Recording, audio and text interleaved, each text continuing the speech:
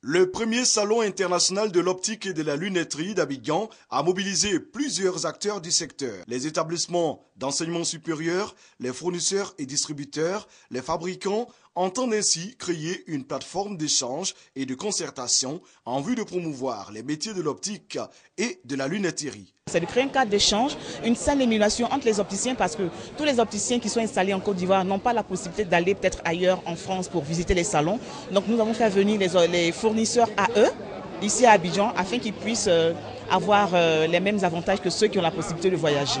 Pour cette première édition, l'accent est mis sur la sensibilisation du grand public, expliquer et présenter aux visiteurs les différents atouts et les spécificités du secteur. Dans les marchés, nos parents ils vont là-bas, ils se font acheter des lunettes. Ces lunettes ne sont même pas conventionnelles, ne respectent même pas la norme de l'optique. Aujourd'hui, tous ceux qui doivent faire des lunettes, c'est les opticiens et dans les cabinets vraiment euh, requis.